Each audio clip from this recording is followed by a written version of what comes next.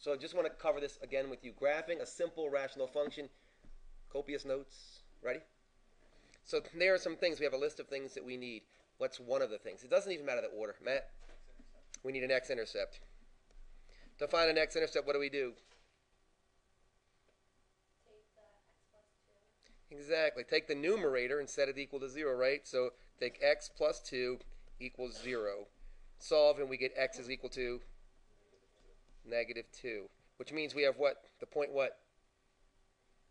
We have the point negative 2, 0. That's going to help us with our graph. What else do we need? So we have our y-intercept. We have that checked off. The next thing? there should be a list. Yeah, of course. Good job, Jason. So we have the y-intercept. Y-intercept, how do you find the y-intercept?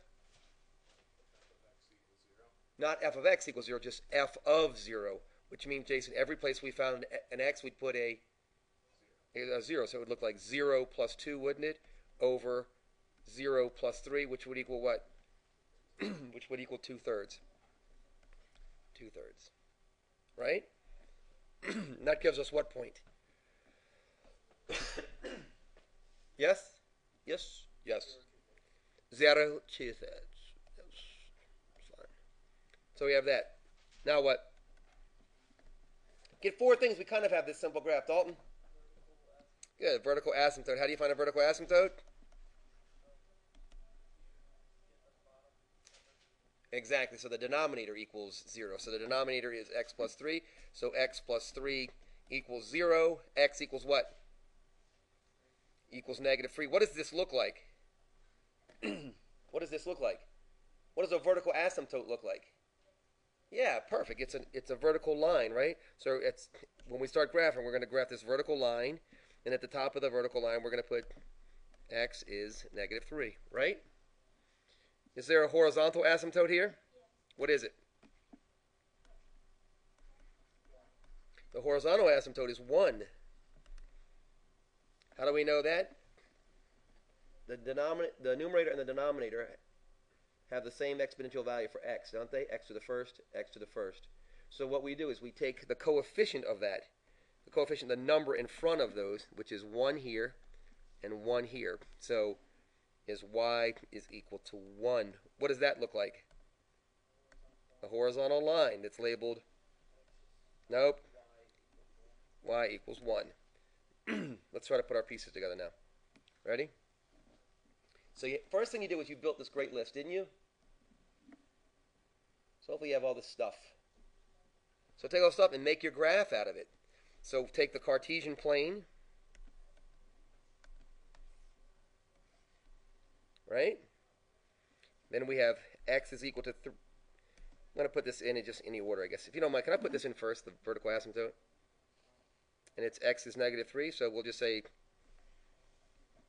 this is x is negative 3. How do I know that this is x is negative 3? Two ways. One, because I put it there, but it can be negative 3 because it's on the left-hand side of, of x is 0, isn't it? Okay? What points did we get here? Oh, we also have the other, we also have this, right? We have this horizontal asymptote, and it's what? y equals 1. So I have to draw this dotted line, and then I have to label it. y equals 1. So far, so good?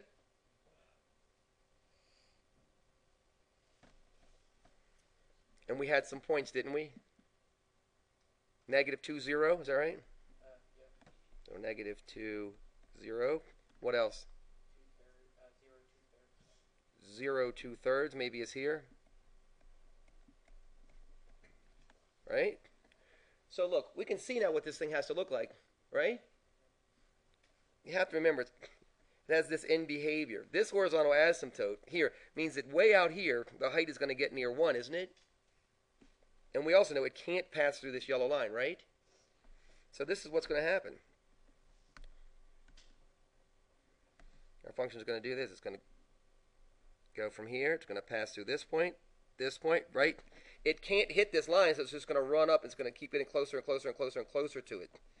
And even though it looks like it's going to touch it here, Matt, it's not, right? It's that Murphy's Law of halves things, right? So some of you, when you graphed it, you gave me this piece of the graph here, and that's part that's part of it. But what happens over on this side? What happens when x is less than the negative 3? How would you find out? Because something happens over here. How do you find out what happens over here? Yeah, put a number in. Give me a number that's over here. Give me an x value that's over here. So somebody wants to take f of negative 5. You could take f of negative 4, but right, take f of negative something that's less than that, right? And we would have negative 5, right? Plus 2 over negative 5 plus 3 is negative 3 over negative 2, which is what?